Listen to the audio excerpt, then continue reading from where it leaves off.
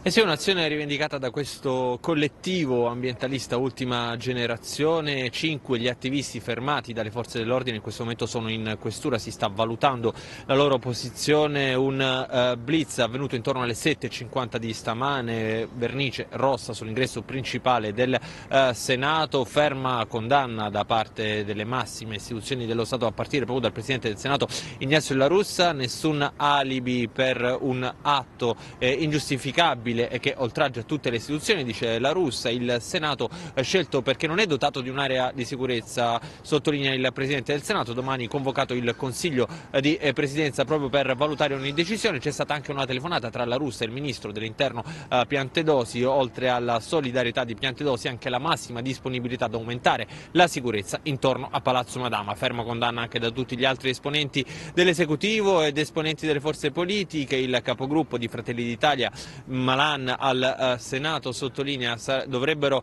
essere loro a pagare eh, gli, gli, i danni arrecati, serve una punizione esemplare per questi vandali, dice il leader della Lega Matteo uh, Salvini, un grave attacco alle istituzioni per la capogruppo forzista al Senato uh, Ronzulli. Dello stesso tenore, anche le dichiarazioni che arrivano dalle opposizioni con Simona Malpezzi del PD che parla di un atto ingiustificabile, l'ambientalismo non giustifica queste azioni, sottolineano dal Movimento 5 Stelle. Dello stesso tenore onore anche le dichiarazioni eh, di Matteo Renzi per il eh, terzo polo. Chi giustifica eh, queste azioni capisce meno dei vandali. Studio.